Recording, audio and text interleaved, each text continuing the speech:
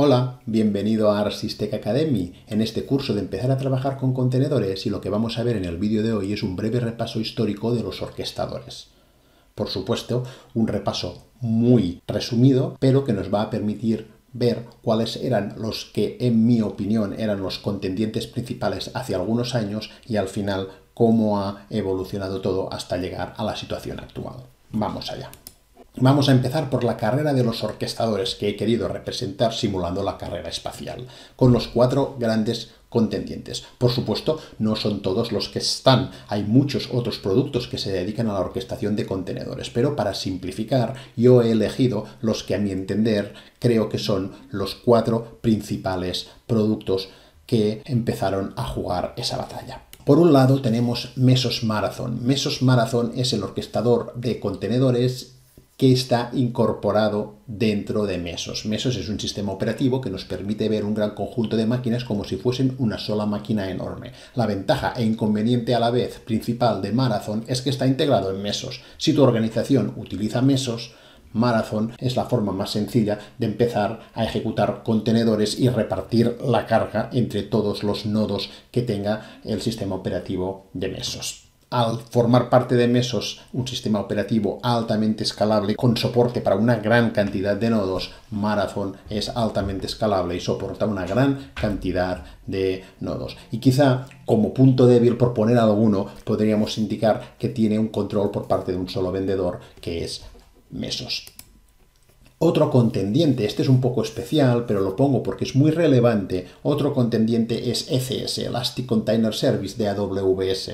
Este es un servicio de AWS basado en EC2, Elastic Container Computing, que básicamente lo que nos ofrece es una capa de orquestación sobre EC2 para, dado un conjunto de máquinas de EC2, poder ejecutar contenedores y repartir la carga entre todos esos nodos. Su principal ventaja e inconveniente a la vez es que es de AWS. Dependes de este proveedor de cloud, dependes de AWS. Si tu organización ya está utilizando AWS y tienes muchas cargas en EC2, ECS es una manera muy sencilla de empezar a orquestar cargas de contenedores en el mismo AWS. El tercer contendiente sería Kubernetes. Kubernetes es un proyecto open source, lo empezó Google, pero lo donó a la CNCF, la Cloud Native Computing Foundation, y actualmente es un proyecto guiado por la comunidad. El modelo de desarrollo es 100% open source. Eso significa que no solo uno puede ver el código y colaborar con pull request, sino que también todas las nuevas características que se van a implementar se discuten públicamente. Su principal inconveniente es que su modelo de aplicaciones es muy complejo, así como su propia instalación. Instalar Kubernetes en un conjunto de máquinas para terminar teniendo un clúster de Kubernetes no es nada sencillo y requiere gente con grandes conocimientos tanto de IT como del propio Kubernetes.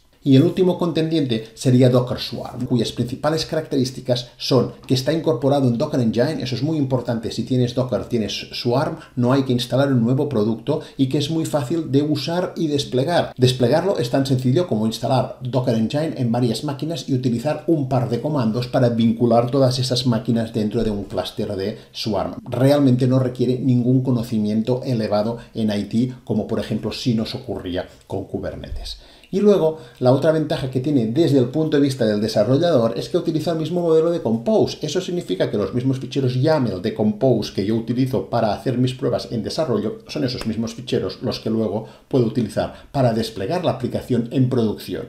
Por lo tanto, como desarrollador, no tengo que aprender un nuevo conjunto de conceptos y un nuevo formato de ficheros. La realidad es que estas ventajas que sea fácil de usar y desplegar, que esté incorporado en Docker y que utilice el mismo modelo de Compose, hacían prever que Docker Swarm sería probablemente el que adoptaría la mayor parte de gente. Pero la realidad es que al final el hecho de utilizar el mismo modelo de Compose hizo que Swarm tuviese algunas limitaciones heredadas del propio modelo de Compose y al final resultó ser Kubernetes quien se llevó al gato al agua. ¿Esto significa que solo se usa Kubernetes hoy en día? Ni mucho menos tanto Marathon como Swarm como por supuesto EC2 y otros productos se siguen utilizando.